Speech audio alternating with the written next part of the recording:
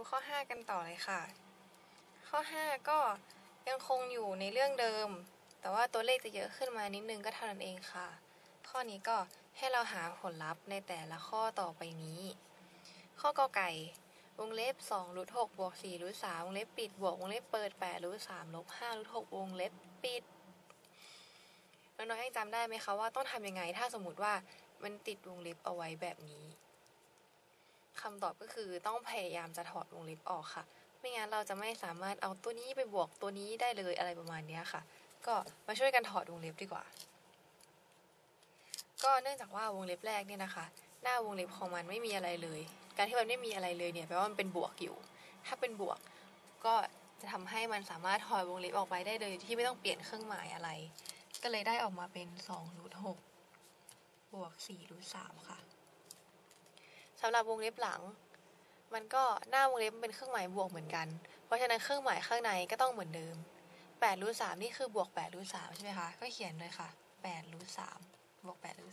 3ก็ลบ5รูท6แล้วทีนี้น้องๆเห็นไหมคะว่า มันมี2รูท6กับลบ5รูท6ที่ดูคล้ายๆกันเพราะว่ามันมีรูท6เหมือนกัน ก็แปลว่า 2 ตัวนี้รวมกันได้เลย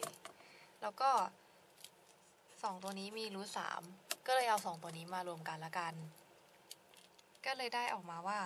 2รูท6ลบ5รูท6เนี่ย ในเมื่อหลังข้างหลังมันเป็นรูท6เหมือนกัน ก็เอาเลขข้างหน้ามาลบกันได้เลย2ลบ5เป็นลบ3ก็ออกมาเป็นลบ3รูท6ส่วนตัวนี้มันมีรูท3เหมือนกันใช่ไหมคะ ก็เลยเอาตัวข้างหน้ามาบวกกันได้เลย เป็น8บวก4ได้12ก็เลยออกมาเป็น12รูท3นั่นเอง ได้คำตอบของข้อกอไก่แล้วค่ะ เห็นไหมคะว่าวิธีการทำก็ไม่ได้ต่างจากข้อที่ผ่านๆมาเท่าไหร่ เพียงแต่ว่าต้องถอดวงเล็บให้เป็น แล้วก็ดูให้ดีว่าอะไรมันบวกหรือว่ามันลบกับอะไรได้เท่านั้นเองค่ะ เสร็จแล้วก็ไปดูที่ข้อถัดไปกันเลย ข้อขอไข่ วงเล็บรูทร้อยแปดสิบลบรูทเจ็ดสิบสองวงเล็บปิดลบ วงเล็บเปิดรูทสองร้อยบวกรูทยี่สิบวงเล็บปิด สำหรับข้อนี้ก็เหมือนเดิมค่ะ พี่อยากให้น้องๆช่วยกันถอดวงเล็บออกก่อนละกันสำหรับวงเล็บข้างหน้า มันจะยังออกมาเหมือนเดิมทุกอย่างเลย เพราะว่าข้างหน้านี้เป็นบวก ก็เลยออกมาเป็นรูทหนึ่งร้อยแปดสิบลบรูทเจ็ดสิบสองส่วนวงเล็บหลังข้างหน้าวงเล็บเป็นเครื่องหมายลบ เพราะฉะนั้นต้องเป็นลบรูทสองร้อยกระจายเข้าไปงงไหมคะ บวกอยู่ก็ต้องกลายเป็นลบ แล้วก็กระจายเข้าไปอีกตัวหนึ่ง ตัวนี้บวกอยู่ ลบกระจายเข้ามา บวกลบก็เป็นลบ ก็ต้องเป็นลบรูทยี่สิบแบบนี้ค่ะ หลังจากถอดวงเล็บเสร็จแล้ว เราต้องจัดรูปรูทเหล่านี้ ให้ดูดีกว่านี้ค่ะ มาช่วยพี่แยกตัวประกอบกันดีกว่า มาดูว่า 180 เนี่ย จะสามารถดึงอะไรออกมาได้บ้าง 180 เห็นเลขศูนย์ข้างหลังไหมคะ แปลว่ามันดึง 10 ออกมาได้ 10 คูณ 18 ได้ 180 10 เนี่ย เกิดจาก 2 คูณ 5 18 เกิดจาก 9 คูณ 2 9 เกิดจาก 3 คูณ 3 เพราะฉะนั้นรูท180 เนี่ย สังเกตเห็นว่า 3 กับ 3 คู่กัน 2 กับ 2 แล้วก็มี 5 ที่ไม่มีคู่อะไร เพราะฉะนั้นรูท180 เนี่ย มีค่าเท่ากับดึง 2 ได้ 1 ตัว ดึง 3 ได้อีก 1 ตัว แล้วก็เหลือรูท5ติดเอาไว้ข้างในค่ะ ต่อมามาดูกันที่รูท72กันบ้างดีกว่าสำหรับรูท72นี้ ก็มาดูกันว่า72แยกตัวประกอบได้อะไรบ้าง72เกิดจาก9คูณ8 9 8 72 9คือ3คูณ3 8คือ4คูณ2 4คือ2คูณ2แบบนี้ค่ะ ก็เหมือนเดิม เห็น3กับ3ก็แปลว่าดึง3ได้1ตัว เห็น2กับ2ก็ดึง2ได้อีก แล้วก็เหลือ2เอาไว้แบบนี้ก็เป็นรูท2เสร็จแล้วก็มาดูกันที่200 200นี้ เห็น0 2ตัวไหมคะ ก็ดึง100อยออกมาเลยดีกว่า100คูณ2ได้200 100เกิดจาก10คูณ10ในเมื่อว่าเห็นว่ามันซ้ำกันแล้วก็เขียนได้เลยค่ะ มันดึง10ออกมาได้นั่นเอง แล้วก็ติดรูท2เอาไว้ข้างใน ส่วนรูท20แยกตัวประกอบได้เลยโดยไม่ต้องทดแล้วล่ะค่ะ20คือ2คูณ2คูณห้า 5 2คูณ2ได้4 4คูณ5ได้20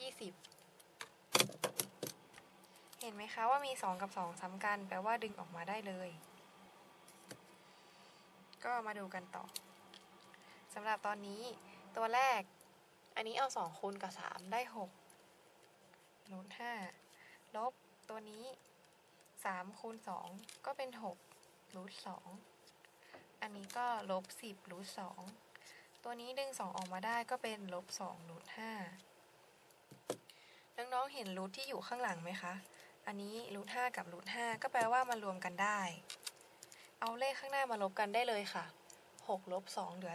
4 ก็เลยได้เป็น4รูท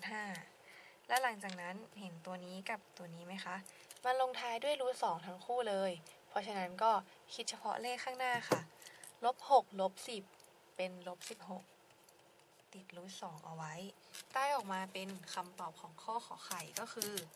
4รูท5ลบ16รูท2นั่นเอง เสร็จแล้วก็ไปดูข้อคอควายกันต่อดีกว่าค่ะ ข้อคอควายอันนี้เหมือนข้อที่ผ่านมาเลย เพียงแต่ตัวเลขไม่เหมือนกันก็เท่านั้นเองค่ะสำหรับข้อนี้ก็มาถอดวงเล็บกันก่อนเหมือนเดิมค่ะ ข้างหน้าหน้าวงเล็บเป็นบวก เพราะฉะนั้นก็ได้เหมือนเดิมเป็นรูทหกร้อยเจ็ดสิบห้าบวกรูทสี่สิบห้าอันนี้เป็นลบ กระจายเข้าไปเลยค่ะ กระจายเข้าไป ก็เลยออกมาเป็นลบรูทสามร้อยตัวนี้ลบกระจายเข้าไปลบลบเป็นบวก ก็เลยต้องใส่เครื่องหมายบวกรูทร้อยยี่สิบห้านั่นเอง ต่อมาก็เป็นการทำให้รูทแต่ละตัวนี้ดูดียิ่งขึ้น เพราะว่าตอนนี้เนี่ยโหรูทอะไรก็ไม่รู้หกร้อยเจ็ดสิบห้างี้สี่สิบห้างี้ มาช่วยพี่แยกตัวประกอบกันดีกว่าค่ะ มาเริ่มกันที่ 675 เห็นเลข 5 มา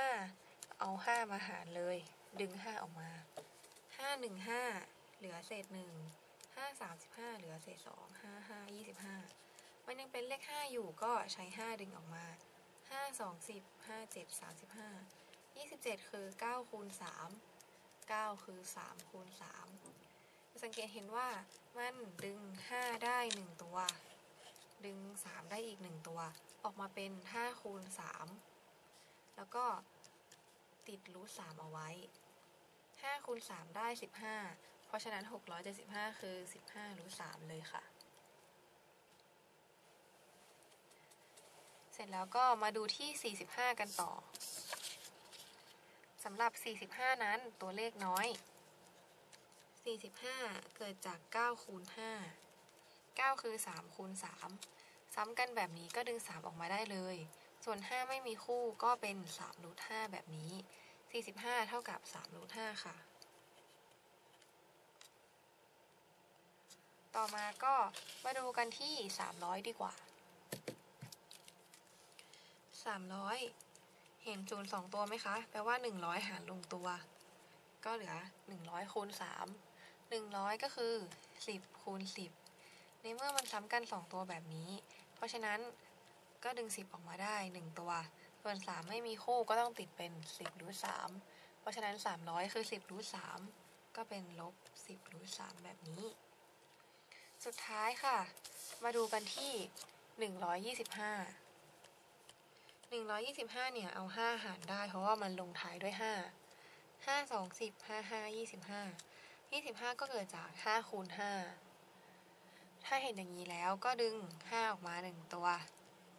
แล้วก็ 5 ตัวนี้ไม่มีคู่ก็ต้องติดไว้เป็น5รูท5ก็เลยออกมาเป็นบวกด้วย5รูท5แบบนี้ค่ะ เสร็จแล้วก็เหมือนเดิม เห็นไหมคะว่ามันมีรูท5กับรูท5แบบนี้ ก็แปลว่าเอาตัวเลขข้างหน้าของมันมาบวกกันได้เลย หรือก็คือ 3 บวก 5 ซึ่งออกมาเป็น8รูท5เหลืออีก 2 ตัว ซึ่งมันเป็นรูท3มันเป็นรูทสามทั้งคู่ แปลว่าเอาเลขข้างหน้ามาลบกันได้เลย เป็นสิบห้าลบสิบก็คือห้ารูทสามได้ออกมาเป็นคำตอบแล้วค่ะแปดรูทห้า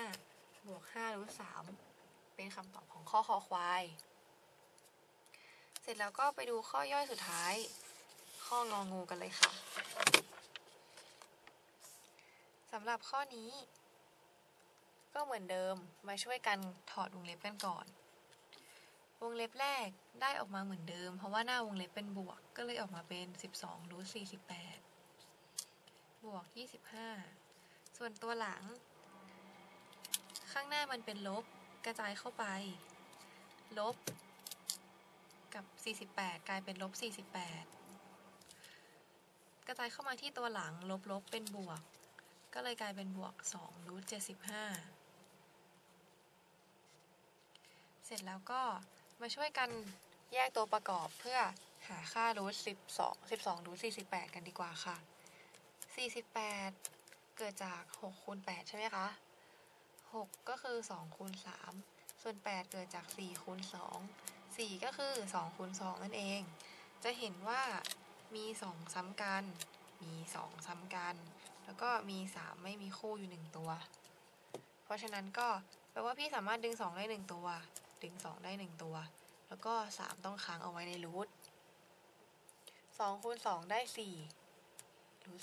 3เพราะฉะนั้น 12รูท48 ก็คือ 12 คูณอยู่กับ4รูท3นั่นเอง ส่วน 25 กับ 48 สามารถลบกันได้เลย เพราะว่ามันก็เป็นแค่จำนวนเต็มธรรมดาธรรมดาใช่ไหมคะ 25ลบ48 ออกมาเป็นลบ23 แล้วก็ตัวสุดท้ายคือ2รูท75 มาช่วยกันแยกตัวประกอบของรูท75 กันดีกว่าค่ะ 75 เห็นไหมคะว่ามันลงท้ายด้วย 5 เอาไม่ 5 หาเลยค่ะ 5 1 5 5 5 25 15 คือ5คูณ3 มันมี 5 ซ้ำกัน 2 ตัว เพราะฉะนั้น 75 คือ 5 รูท3นั่นเอง เพราะฉะนั้นอันนี้ก็เลยออกมาเป็น 2 คูณ 5 รูท3ต่อมาดูคู่นี้ค่ะ 12 คูณ4รูท3เอาจำนวนเต็มคูณจำนวนเต็มใช่ไหมออกมาเป็น 12 4 ได้ 48 คูณกับรูท3ลบ 23 ตัวหลังเอา 2 คูณ 5 ได้ 10 รูท3มันเป็นรูท3กับรูท3เหมือนกัน เพราะฉะนั้นเอาตัวเลขข้างหน้าบวกกันได้เลย 48 บวก 10 ได้ 58 แล้วก็ติดรูท3เอาไว้เหมือนเดิม ลบด้วย 23 ออกมาเป็นคำตอบค่ะสำหรับข้อนี้ก็เลยได้คำตอบออกมาเป็น 58รูท3ลบ 23 ก็จบไปแล้วค่ะสำหรับข้อนี้